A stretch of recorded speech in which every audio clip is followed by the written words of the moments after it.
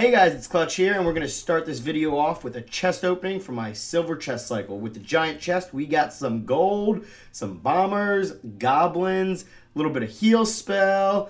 All right, let's move on to that magical chest. For the magical, we have more gold, we got some royal giant, we got a goblin gang, more elixir collector, we need that, bomber, and we got some tombstone in there.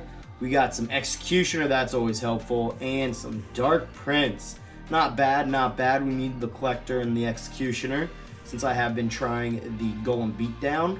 We got some Guards, Baby Dragon, Clone, and Skarmy. Not too bad. We needed that Baby Dragon as well. For the Legendary chest, we got the Bandit, which we'll put it at level 2. One of the few cards we do not actually use currently. Alright, so for this first one, this is to be the live battle. We'll get into the recorded one that I have later. The other one was, uh, it was a real buzzer beater, real nail biter. So getting off into this battle here, this guy plays a Hog Rider Executioner deck. And he's to immediately start with the Ice Spirit Hog Rider, which we'll use the log and the Electro Wizard to take care of. However, we're not to put anything on its tower, no miner down there because we're going to just try and save elixir because we know that most of these hog rider players use uh, some type of hog cycle, so you got to keep your elixir up while you can and kind of wait for double elixir before you actually start making your push at the end. And that's where you get all your actual damages at the end usually. Here he's going to miss one of my fire spirits with the log, so it will do some damage and take out his skellies while my ice wizard gets killed. We're not too worried about that executioner. We're gonna get our tornado and our executioner down, and then we're gonna put the ice wizard in there to slow everything down a little bit.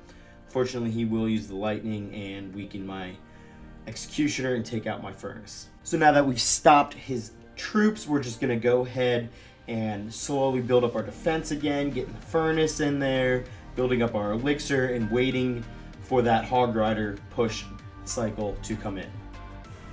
So right now, he's probably just building up his elixir. Not much is going on. We're not worried about it. We're still building up our elixir, waiting for that clock to kind of tick out a little bit so we could start doing damage on his tower. We are going to go ahead and put the miner in poison and let the fire spirits get in there so we can kind of just take out that uh, executioner so we don't have to worry about it when the hog rider comes on down. His knight will come in as a shield for his hog rider and his fire spirit. Fortunately, it's going to take a little bit to get the tornado going, so he's going to get a couple swings in there. But we we still have that lead, so we're not worried at all.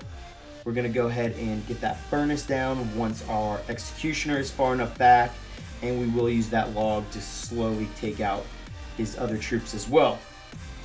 He is going to keep on using that lightning on me, however, we have our Ice Wiz and our Electro Wizard and the Tornado to stop him from being able to make another push. And now that we have uh, double elixir and everything going on, we're able to get our troops in there a lot quicker. And that poison spell does work of those skeletons. And between the miner and the ice wizard on the tower, we're getting some good damage here along with that poison spell.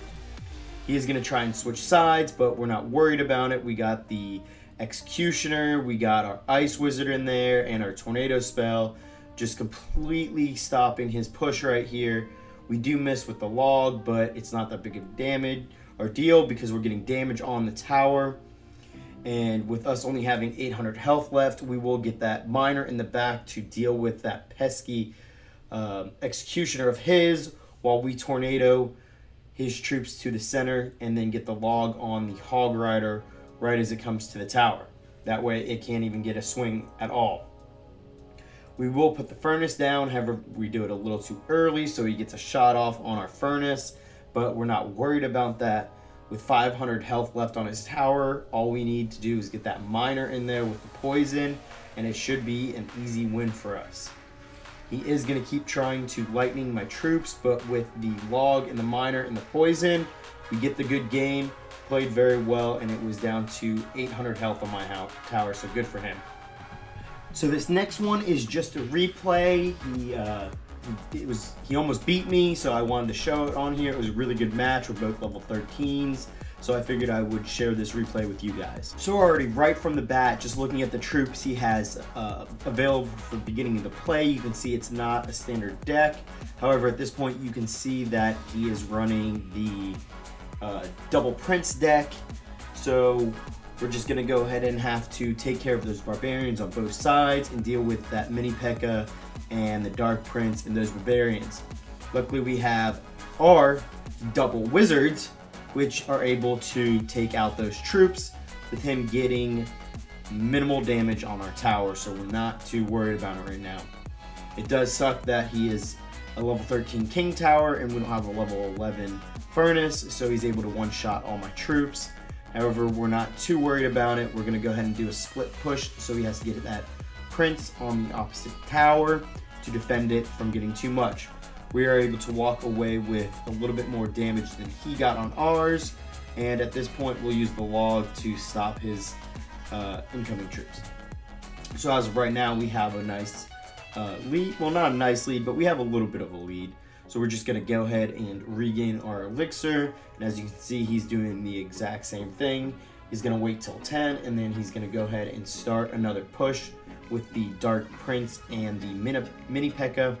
He's to accidentally do some preemptive arrows, which end up not helping him at all. And we'll only have to use the Ice Wizard and Furnace to defend our tower. And he only gets a little bit of damage on our tower once again, which was nothing more than the arrows. He is going to ignore my Ice Wizard, so we'll just go ahead and get a little bit of damage on his tower. And as of right now, he barely has the lead, but it's less than 50, so we're not worried about it.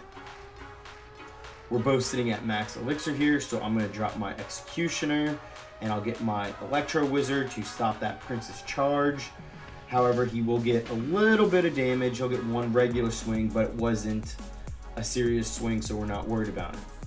We are going to go ahead and get that poison on the tower with our miner in there, and he is going to counter with the mini P.E.K.K.A. and the Dark Prince.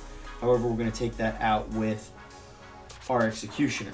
At this point, we have regained the lead and we have damage on both towers, so we're feeling pretty confident here.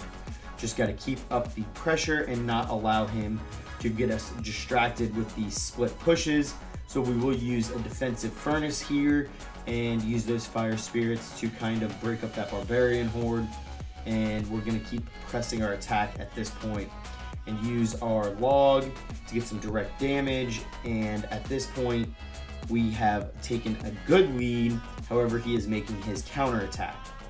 We will put the Electro Wizard down, but his regular Prince is able to completely take it out, and he is going to get some good damage on my tower at this point because I wasn't able to get my miner up in time. So he's going to get a full charging Prince hit on my tower. And with that, he is able to take the lead. That was my mistake. However, we are still able to come back from that. Luckily for us, we have enough elixir at this point. There's still 30 seconds left in the game. So as long as we don't do any more goofs like that, we should be good. He is just going to continuously use those arrows to take out my fire spirits. However, this time we've learned our lesson about the placement of that Electro Wizard. So we're just going to keep on doing proper chip damage with our miner with that poison. He unfortunately does completely ignore my miner, and with that, I am able to get the win. Thank you for watching, everyone. If you enjoyed the video, please drop a like and subscribe, and have a wonderful day.